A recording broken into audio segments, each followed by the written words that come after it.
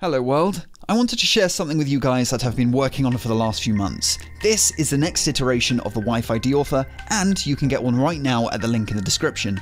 I've made a short video on the thing that I'll play in just a second, though I'm also doing a giveaway of one deauthor. To enter, just comment something down below.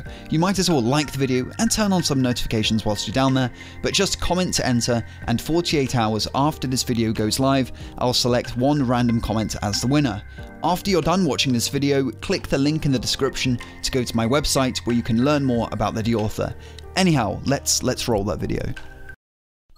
A deauthor can kick devices off a Wi-Fi network and keep them off. Deauthors demonstrate a flaw in the Wi-Fi protocol and are extremely useful when this flaw needs to be demonstrated without the use of specialist Wi-Fi adapters and complicated software.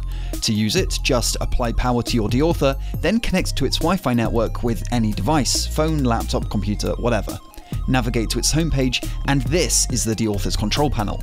Using the intuitive web interface, you can scan for nearby networks, select the network or individual devices you want to affect, and then just start deauthing. All devices within range connected to the network you've selected will be disconnected and won't be able to reconnect whilst the attack is ongoing. Wi-Fi deauthors come in a sleek, angular, metallic silver case and can be powered via any USB power source using USB A or C.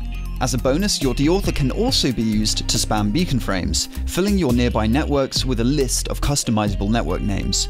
You can also spam probe requests, which can confuse Wi-Fi trackers. We have a load of documentation that explains every function of your deauthor, and if you ever need help with your device, you can reach out to me personally via email. I'm here to help.